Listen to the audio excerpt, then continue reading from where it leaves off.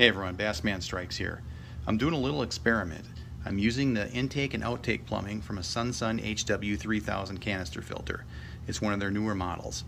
And I've combined it with silicone tubing and attached it to a 704B. If you've ever worked with the green vinyl tubing these come with, you'll know how much it sucks.